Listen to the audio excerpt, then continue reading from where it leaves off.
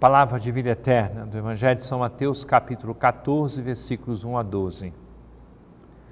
Naquele tempo, a fama de Jesus chegou aos ouvidos do governador Herodes.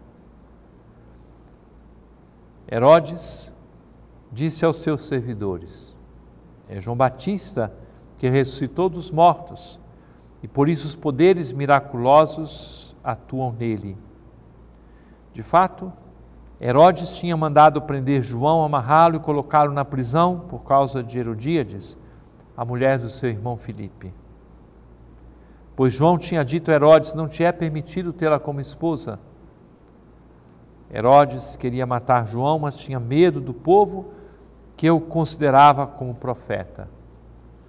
Por ocasião do aniversário de Herodes, a filha de Herodíades dançou diante de todos e agradou tanto a Herodes que ele prometeu com juramento dar a ela tudo o que pedisse. Instigada pela mãe, ela disse: Dá-me aqui num prato a cabeça de João Batista. O rei ficou triste, mas por causa do juramento, diante dos convidados, ordenou que atendessem o pedido dela. E mandou cortar a cabeça de João no cárcere. Depois a cabeça foi trazida num prato entregue à moça e esta a levou para sua mãe. Os discípulos de João foram buscar o corpo e o enterraram. Depois foram contar tudo a Jesus.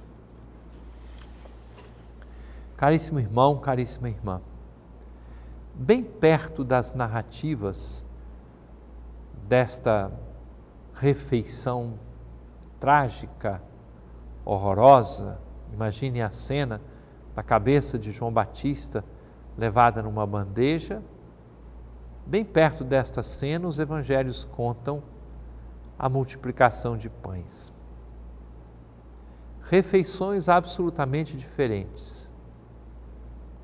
A que ouvimos hoje é uma descrição de uma indignidade absoluta da parte de Herodes, Herodíades, a sua filha, de um lado, e do outro lado, a grande dignidade de João Batista, e mais ainda a dignidade de Jesus, cuja fama, diz o Evangelho, tinha se espalhado. João Batista perde a cabeça, não como muitas pessoas podem perder a cabeça pelo ódio, pela indignação, pela revolta, ou quem sabe pela bebida, pela droga. Perdeu a cabeça no sentido de que chegou Jesus e esse Jesus é que devia crescer.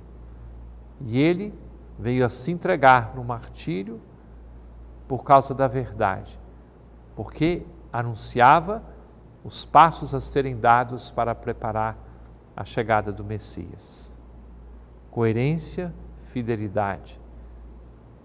Da nossa parte, exista também a disposição para nos recusarmos de forma absoluta a compactuar com a maldade, com o pecado, com a indignidade entre as pessoas.